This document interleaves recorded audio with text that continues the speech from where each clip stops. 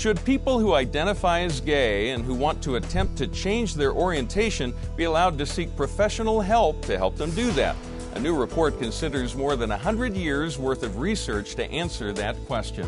This is the Focus Action Update. I'm Stuart Shepard, and this week we'll be chatting with Melissa Fryrear, who is the head of our Gender Issues Department and a fellow Kentuckian. Hi, Melissa. Hi, Stuart, and it's good to work with you here at Focus. And of course, I used to watch you do the weather on an NBC affiliate in Lexington, Kentucky. She's a fan. Absolutely. hey, we've got this new report by the, the, I want to get the name right, the National Association for Research and Therapy of Homosexuality, uh, which goes by the acronym NARTH. A lot of people may not have heard about that group, but we'll talk more about it as we go along. Uh, NARTH reviewed reviewed more than 600 studies and reports and arrived at three conclusions in this published article. There is substantial evidence that sexual orientation may be changed through reorientation therapy. The second point efforts to change sexual orientation have not been shown to be consistently harmful or to regularly lead to greater self hatred, depression, and other self destructive behaviors. And the third point there is significantly greater medical, psychological, and relational pathology in the homosexual population than the general population. Now, Melissa, you deal with this all the time. When you see this report, uh, what stands out to you? What strikes you? Well, we know at Focus on the Family that homosexual activists and their allies, and, and a lot of people within the medical profession, um, have asserted these three claims for years. From and the so, other side. From the other side, Yeah. that, as you mentioned, that uh, people cannot change, that the efforts to do so are harmful, Right. uh, and that there isn't a higher pathology within the gay and lesbian community. Well, the report and the work that, that NARTH has done is such a tremendous help because not only have we been aware for years that these are unsubstantiated claims by the APA, but now we know that uh, their claims have been uh, refuted by the work that NARTH has done. And you mentioned the APA. She means the American Psychological Association. And, that's a professional organization that uh, has an official position that is the exact opposite of what this report found. How did that happen? Well, regrettably, the APA has become a social activist organization, we think. Now, let me mention another interesting point about the APA. They say that they, uh, they respect religious beliefs uh, of individuals and that they recognize a client's right to self determination. Regrettably, the APA sometimes doesn't seem to follow their actions to match their words, and that they become a politically correct uh, organization, if you will. Even past presidents of the APA recognize that, uh, recognize this. We talked with a number of people this week with the release of this report, and Dr. Nicholas Cummings, for example, who is a past president of the APA.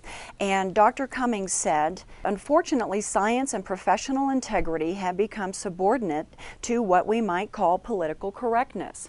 We also asked Dr. Cummings if he thought that the APA would recognize this report, and he said probably the APA would not. He added, if they do what they've done in the past, they'll ignore it and act as if it was never revealed, because again, the findings are politically incorrect, What's in- according to the APA. And what's interesting about this is you will often hear folks uh, from the other side of this issue quote the APA as if this is all science based when they say people can't change and the APA says so. But here we find that the APA's position is more based on political correctness than it is on the science. Tell us a little bit about NARTH. What's that organization? Who belongs to it? What does it do? NARTH, the, the acronym that you mentioned, the National Association for Research and Therapy of Homosexuality. Now, NARTH is made up of a tremendous, uh, respectful, and professional group of people medical doctors, uh, psychologists, psychoanalysts, psychotherapists, licensed family and marriage counselors, distinguished uh, professors, as well as lawyers. And NARTH, they're advocates for two groups of people. Uh, they're advocates of men and women who are dissatisfied living homosexually, who want to pursue their heterosexual potential, and then they're also advocates of professionals uh, in the mental health uh, industry who want to help men and women overcome unwanted same sex attraction. Now, the second finding in this report from NARTH is that efforts to change have not been shown to be consistently harmful. Why is that a significant point? This is significant, uh, Stuart, on, on many different levels. Again, that claim has been unsubstantiated, and NARTH in the report refutes that claim. Let me mention something else regarding the APA and its standards and its guidelines. Yeah. In 1993, the APA uh, adopted what they call the Leona Tyler Principle, 1973, which obligates the organization to make statements based on research and the psychological literature. That claim that, that help to overcome unwanted same sex attraction is harmful is unsubstantiated. So they're actually violating their own standard by making that statement. Now, the third finding in the report is that there's greater, and I, I want to read this exactly, it's a little uh, science speak, but I think we can get through it. There's significantly greater medical, psychological, and relational pathology in the homosexual population than the general population. Translate that for the rest of us because Focus on the Family is a Christian organization, a lot of people we meet who want to overcome homosexuality do it because of, of religious convictions. And we've met a lot of people through the years. They also have read the research, they've read the studies, and a, as they've lived, and they've, they've realized there are medical, there are psychological, there are relational dysfunctions uh, living homosexually. And so that's been the motivation to want to overcome this struggle. And I hope also, Stuart, that as Christians especially, that that will solicit uh, uh, empathy empathy and compassion in our hearts, knowing that uh, oftentimes people who are living homosexually are wrestling with a lot of other issues and a lot of other self destructive behaviors as well. Folks who are on the other side of this issue from Focus on the Family like to make claims such as uh, Focus just wants, and other organizations like ours that hold this position that people can change, that we just want to corral gay people into a room and force them to change, or they'll say that we just want to pray away the gays if it's not a difficult process. Both of those statements are false, but, but how do you respond when people come at you with lines like that? We're advocates uh, for people who are dissatisfied living homosexually.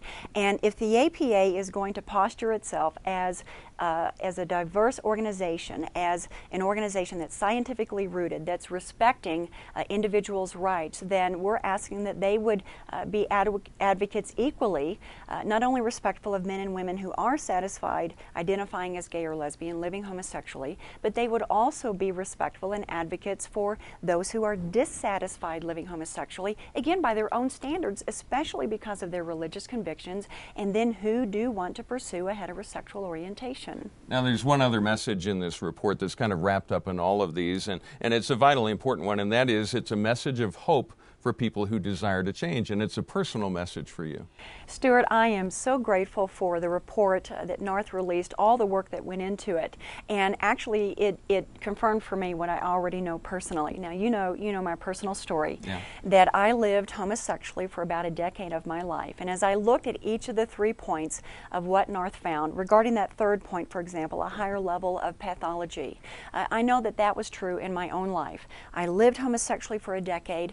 I also abused alcohol on a daily basis, did recreational drugs on the weekend, smoked a pack and a half of cigarettes a day, uh, was an emotional cutter, and was 50 pounds overweight. So obviously, I had a lot of pathologies in my own life, and I it breaks my heart. I regret that so many of my friends in the gay and lesbian community that I was a part of, I saw those similar behaviors in their lives as well.